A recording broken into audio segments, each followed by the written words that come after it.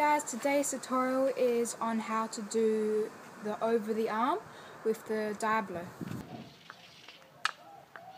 This would be an intermediate trick, it's not too hard, it's pretty easy to do. You can follow along with some picture steps so it's easy for you to understand. With your left stick, throw the diabolo into the air over your arm. Land it on the string on the right stick.